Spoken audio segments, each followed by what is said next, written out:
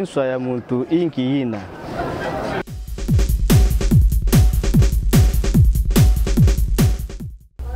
luyelu mosi ve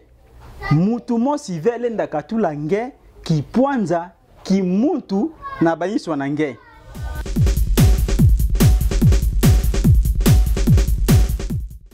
ntsiku ya zole kumona mutu mpamba ve ntsiku yina ke sambu na betu nyonso nge va na muluba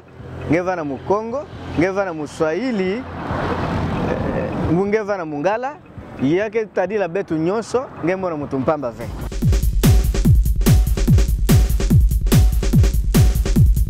nswa ya bantu nswa ya ntete beto nyonso ke butu kaka na kimpwanza mpe mutindu mosi beto fuetisadisana ka konso muntu kele ti bangindu na ya ndi mpe na mabanza na ya ndi kasi beto nyonso fue ti sadisanaka mutindu mosi eh, livre ya ibi tue katoka kosala yake bahinswa ya muntu donc betu mi traduire yao betu mi balula yao na bandinga nyonso betu betule mpe na kikongo sa mobeto betu zaba bahinswa ya muntu nini ina apartir ya bayeso ya motu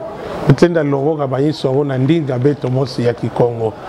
yango na beto mpe balula yango na kikongo français lingala swahili chiluba na anglais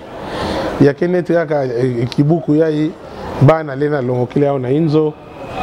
kodiskute kosolola na batata bao sango baza bampe bayiswa ya bao ba Ma déclaration, en français, la déclaration des droits de l'homme. Ok.